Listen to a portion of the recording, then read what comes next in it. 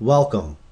This brief video tutorial provides directives on how to utilize image galleries within your Joomla articles or within your K2 article component. In this case, we are looking upon a Joomla article where down below here you can see we have an image gallery that utilizes Lightbox technology that allows you to provide image gallery functionality on your website. As with any type of functionality within Joomla, this can be achieved using various components developed by third-party developers. In this case, we will be utilizing two different components. One component would be a component called Modules Anywhere. Modules Anywhere can be found in the Joomla extensions directory or downloaded directly at nonumber.nl. And here you can see they have a free version of Modules Anywhere, and that will allow us to insert any module very easily into uh, an article utilizing the editor, which I will demonstrate in a moment.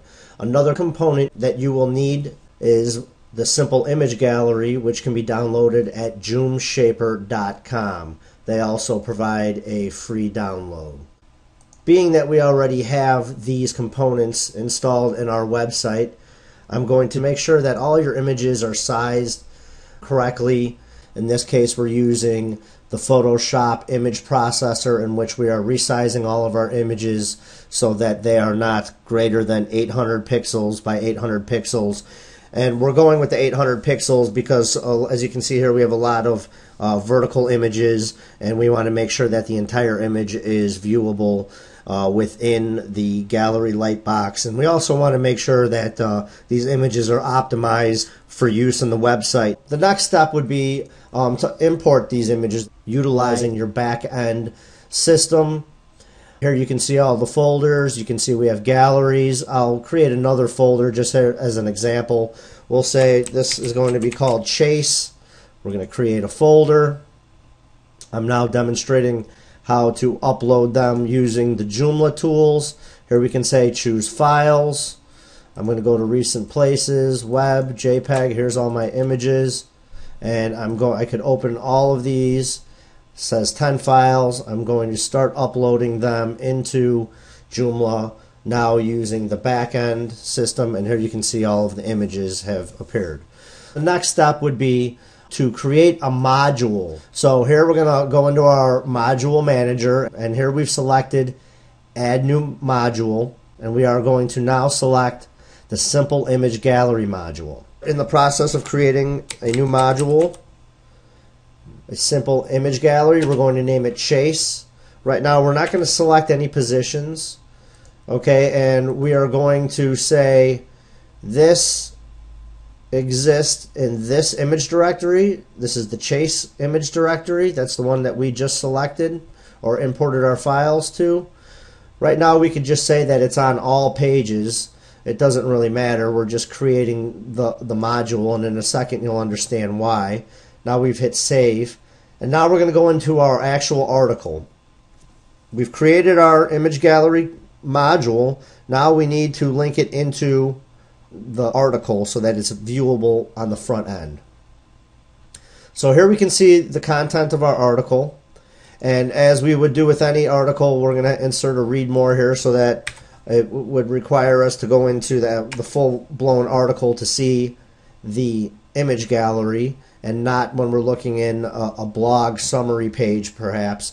So here now we're going to go to the bottom and we're going to see that the insert module selector is available here within our editor because we have installed this component called modules anywhere again here it is on the Joomla extensions directory and here it is available for download on the nonumber.nl website we're going to go back to our our admin section and we're going to say insert module.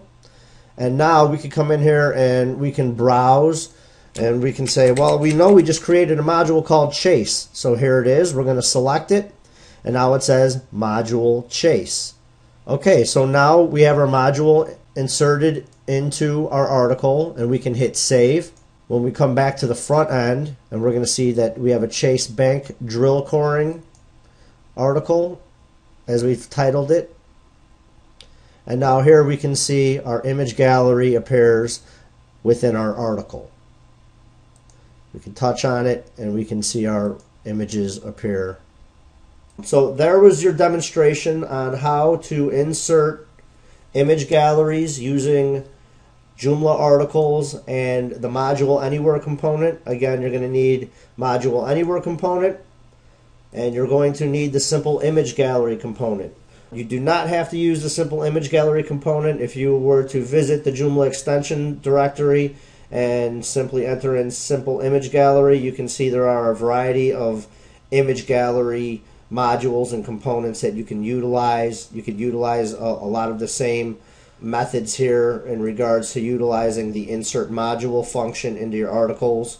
But there again was a brief tutorial on how to incorporate image galleries in your articles.